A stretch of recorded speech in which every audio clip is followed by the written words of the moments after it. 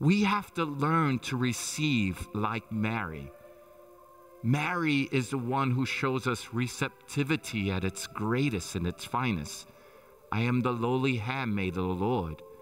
She is able to allow the Word become flesh inside of her, to be incarnated inside of her, because she is empty of any concern and any worry.